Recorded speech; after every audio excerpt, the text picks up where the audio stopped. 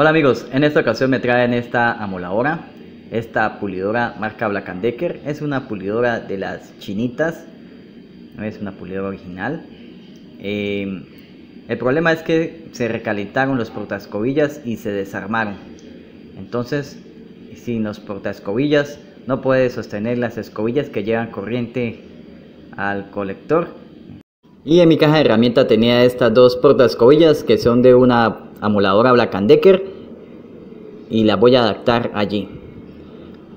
Voy a utilizar un marcador para hacerle unos puntos y así poder hacer los agujeros.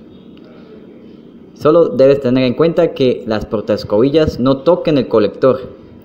Ahora aquí marcamos de ambos lados de cada ala para hacer un agujero pequeño de modo de que quede atrapada con la carcasa que está atrás. Voy a utilizar una broca de un octavo y ya van a ver cómo queda. Si tienes alguna duda de este video amigos déjamela en los comentarios.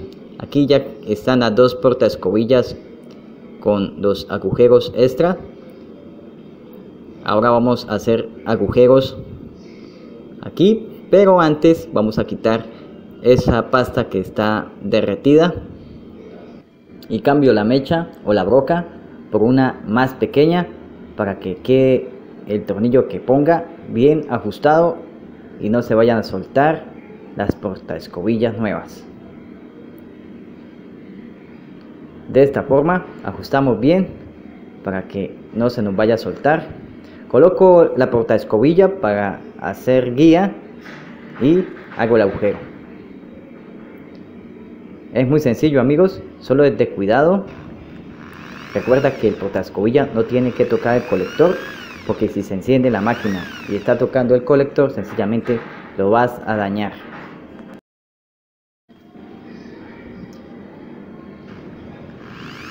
Hacemos el agujero del otro lado y ahora colocamos las portascobillas. Ten en cuenta que los tornillos entren bien ajustados para que no quede haciendo juego moviéndose de un lado al otro el portascobilla. Hacemos lo mismo de este lado. Hacemos los cables hacia un lado, colocamos el portascobilla y hacemos los agujeros. Ten mucho cuidado, no vayas a dañar las bobinas con la broca. Si tienes tiempo, saca las bobinas y haz los agujeros y pon los portascobillas.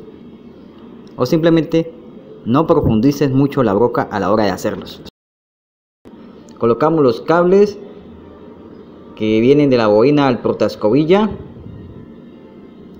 y luego colocamos las escobillas en su sitio. Ten en cuenta que las escobillas algunas vienen de dos guías o de una sola guía. Si viene de dos guías y el portascobilla es de una sola guía no hay problema.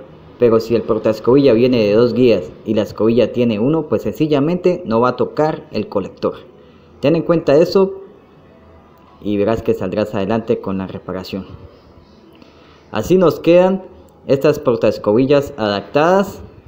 Recuerda que es muy sencillo. Aquí estoy girando la masa y queda perfecto.